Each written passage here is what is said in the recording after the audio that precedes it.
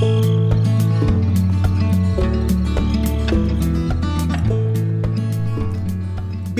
Queridos muchachos a un nuevo video acá en tu canal favorito de tecnología en 4K, televisores UHD y consolas de última generación, Machina 4K. Hoy mis queridos muchachos vamos a hacer uno de los videos más esperados yo sé que por muchos del canal y es el video donde vamos a elegir los 10 mejores televisores a comprar en este año, que son los 10 mejores televisores donde cerramos el año y ya acá voy a meter todo, toda la carne en la parrilla, por eso no son 5, son 10 y esto es absolutamente actualizado y esta es mi última opinión, definición, etc. Partamos, ojo, los voy a. no están ordenados de cuál fue el mejor o peor para mí, sino que están ordenados desde el precio más económico hasta el más costoso.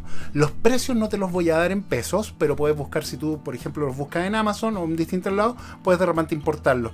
Eh, ahí van a ver algunos modelos que son exclusivos para algunas zonas, pero como Machina 4K llega tanto desde México como público latino a Estados Unidos o España o Chile, traté de meter de todos lados y armar una lista bien completa. Es decir, muchos de estos televisores van a estar en tu país y vas a poder elegir.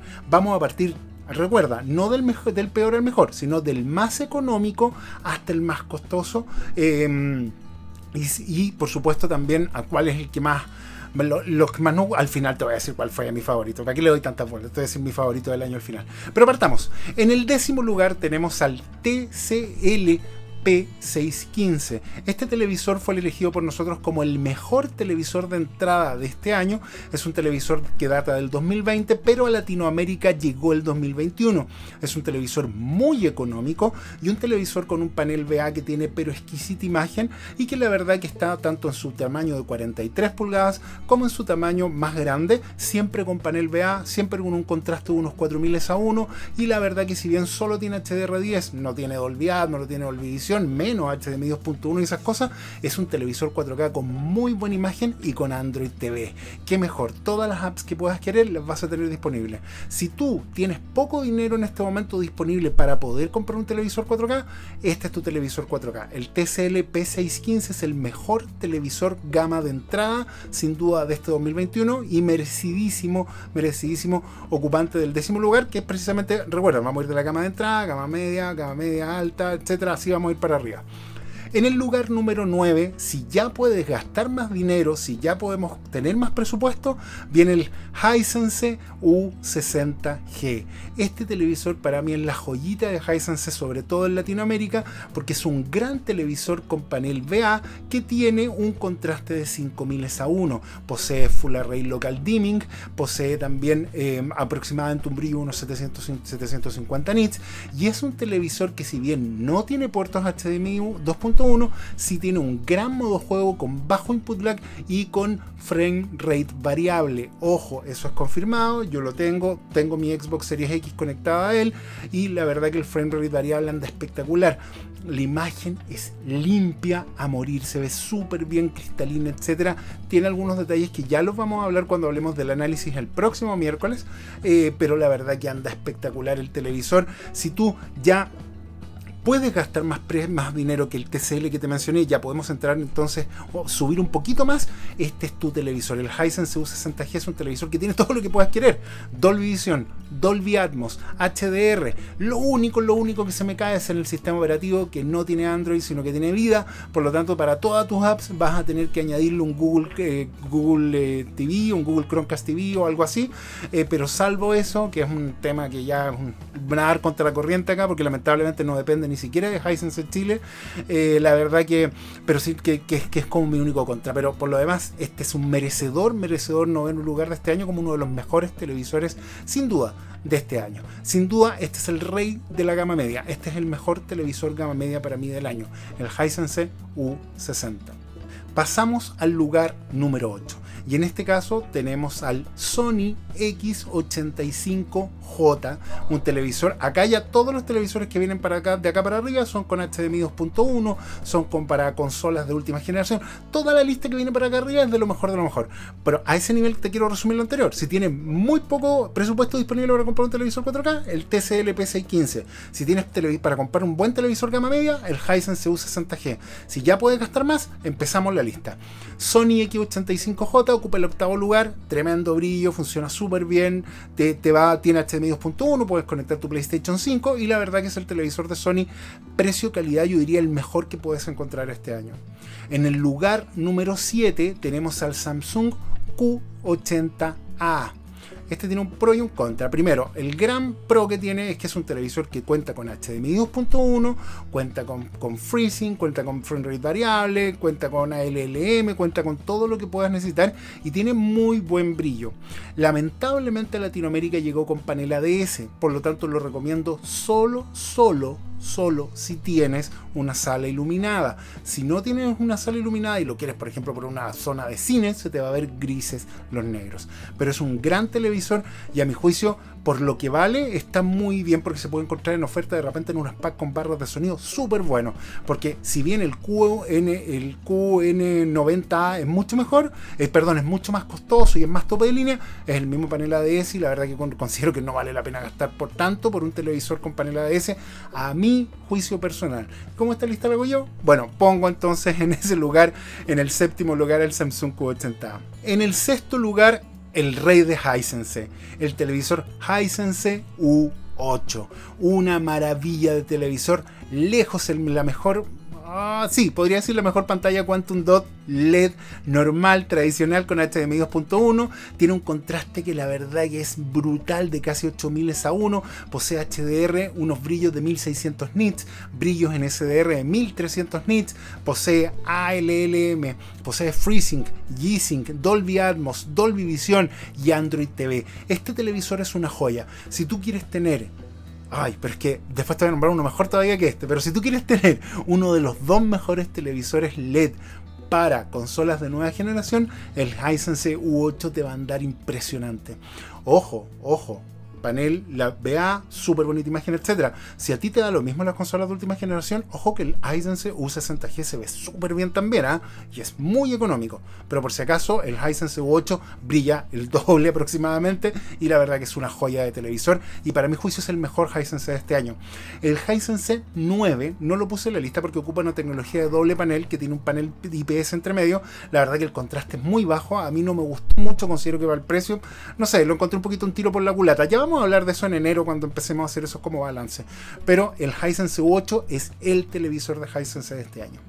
En el lugar número 5 vamos con el que para mí este año, habiendo revisado ahora sí que todo, es el mejor televisor LED del año. La verdad muchachos es que en este lugar, en este puesto de la lista, tengo un dilema un poquito grande. Les voy a ser franco, yo tenía escogido antes en este lugar como mejor LED del año, antes de pasar los OLED alta gama, etcétera, al Sony X90J, que francamente fue el X, el de Sony el más, el más adelantado que llegó a Latinoamérica. Si hubiese llegado a tu país el X95J, por favor considera ese por sobre el X90J, pero me pareció un televisor espectacular para ver películas. Tenía el Bravia XR que tenía toda la línea alta de Sony de este año, que ya he hablado del procesador cognitivo y todas sus bondades. Si eres cinéfilo, este es tu televisor, cualquier televisor Sony con XR va a ser una delicia.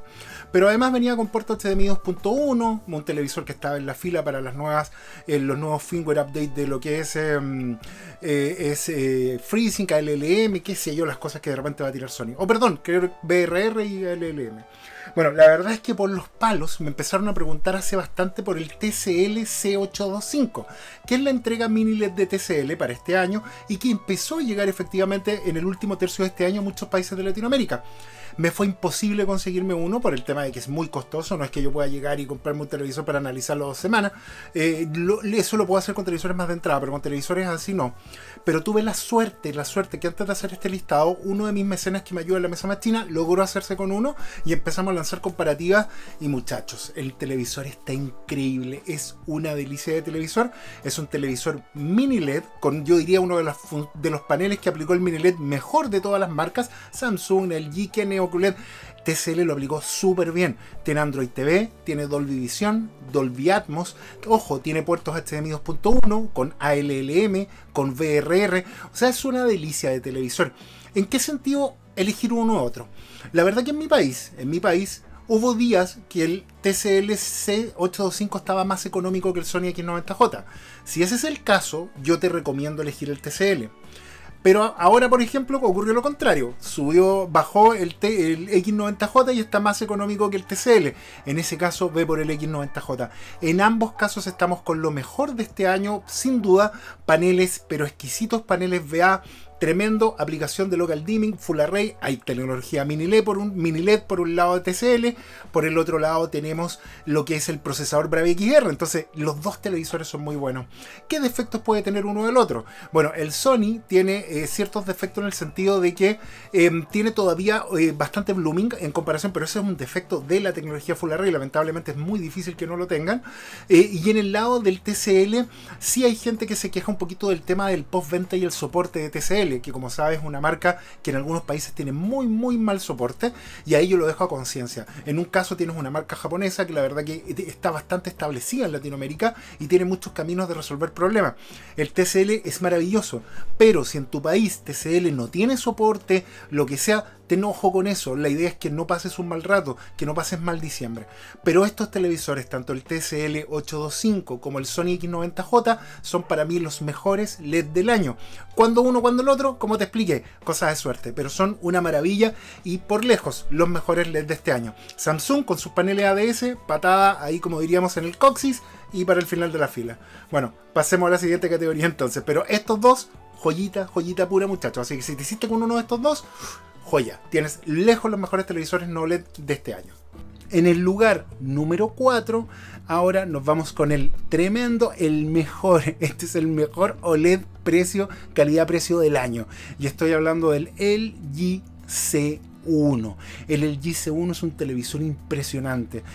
mejoró mucho de las cosas que Samsung había, perdón, que el G estaba con un poquito al debe con el tema del LLM tan agresivo que fue el, 2020. Y tiene un televisor que tiene un gran white color gamut, un televisor que tiene HDMI 2.1. El mejor televisor para videojuegos, precio y calidad del año, lejos es este, no hay ningún otro. Pero ya vamos a hablar cuando termine el listado. Eh, y sin duda una maravilla. Y lo mejor de todo, el precio. Es un televisor brutalmente económico que pudo llegar a muchos países con ofertas, pero muy, muy económica. Que los Black Friday de repente llegaban a temas irrisorios. O sea, el televisor, muchos, muchos mecenas míos pudieron comprarse el GC1 a precio de televisor gama media, al nivel que llegó el stock y al nivel que llegó la oferta. Tremendo televisor, pero realmente premiado. Sin duda, uno de los televisores favoritos por los gamers del año. En el tercer lugar, como no lo voy a poner a él, al rey del G, el G G1. Es todo lo bueno que te hablé del C1, todas las maravillas que te hablé del C1, pero además tiene la gracia de poseer el panel Evo, que por supuesto le otorga que aún pueda brillar más. No pasa los 1000 nits como hubiésemos esperado, pero la verdad que tiene aproximadamente unos 150 nits más que el C1, anda súper bien, es bonito su diseño, también si quieres el mejor televisor para juegos y el dinero no importa, el LG G1 es el mejor televisor para juegos sin que el dinero importe. Tiene FreeSync, G-Sync, ALLM, VRR, puertos HDMI 2.1, son todos los puertos son HDMI 2.1, así que puedes conectar PC, Xbox, Series X, PlayStation 5, lo que usted quiera, disfrute y es precioso. En el segundo lugar tengo al Sony A80J una maravilla de televisor OLED, el gran salto de Sony y el tope de línea que llegó a varios países de Latinoamérica. Es un televisor que tiene un procesador Pres, pero Bravia XR que es increíble cómo maneja las imágenes al ver películas, cómo maneja el movimiento, la textura, la cristalización, la creación de contenido. Todo lo que hace este procesador la verdad que es maravilloso y si bien acá no tuvimos el sistema de streaming exclusivo para los Bravia XR que hubo en Estados Unidos, eh, la verdad que ni siquiera nos acordamos de él con lo precioso y lo bonito que se ve este televisor. Lo único que el precio con el C1 se disparó muchísimo, eh, lo cual lo deja en, una posición bastante incómoda, porque como el C1 se ve tan bien y vale tan poco, entonces ahí, en comparación al otro, ahí queda como un poquitito cojo. Pero, ojo, este es el mejor televisor para ver películas, sin duda, sin duda. La verdad que tiene una, una un, un, un AV, ah, se me olvidó cómo se llama esa cuestión, cuando se atenúa con un poco, cuando hay mucho blanco en pantalla se atenúa, lo tiene súper poco. Es un televisor brillante, es un televisor que las películas se ven exquisitas, es un televisor con Android TV. con este televisor no necesitas tener ni Apple TV, no necesitas tener nada de eso, porque tienes todas tus apps ahí. Si quieres bajar VPN, baje VPN. La verdad que se ve espectacular. El único punto débil que yo le encontraría es el de todos los televisores Sony. Si usted baja películas, no se compra un televisor Sony, porque Sony no está hecho para eso. Hay otras marcas que manejan mucho mejor tener películas de disco duro. ¿Por qué digo esto? Que usualmente no lo diría, porque he tenido gente que realmente reclaman los televisores Sony, que pero yo le metía hartas películas y se paraba cada rato. No, no son para eso los televisores Sony, porque Sony es una de las marcas más complicadas para eso. Para eso te recomiendo lejos más el G, qué sé yo, Samsung, tienen mucho mejor manejo de ese tipo de contenido. Pero vámonos al primer lugar. El primer lugar de este año lo tiene el Sony A90J. El televisor, yo diría, estrella del año, el televisor que sin duda logró aunar muchas cosas. Y lo único que yo diría que tanto el A90J y el A80J tienen como punto débil es que, por ejemplo, para ocuparlos para PC o para Xbox Series X no son. No tienen FreeSync, no tienen G-Sync, no tienen ALLM, como que están recién, les van a poner esos vía firmware, pero realmente Sony se los pone a algunos televisores y hay problema. Entonces, no, si tienes esas consolas, vete por uno de los LG que te mencioné.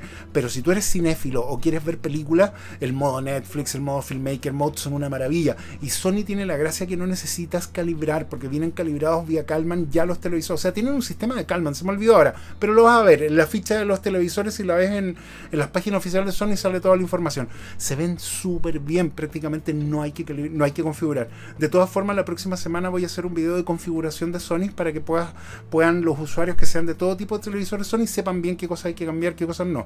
Pero el A90J fue el rey de este año, es el televisor que sin duda más llamó la atención porque prometió llevar el brillo como nunca antes visto a los televisores OLED, que siempre es como su punto de él y la verdad que en cierta forma lo cumplió bastante. Es un televisor que se ve muy vistoso, es un televisor muy lindo, pero insisto, muy poco se habla del Bravia XR, el tremendo procesador que tuvieron estos televisores y la verdad que sin duda se nota. Estos para mí fueron los 10 mejores televisores que puedes comprar este año. Hay varios que a lo mejor no van a estar en tu país, pero otros que sí van a estar.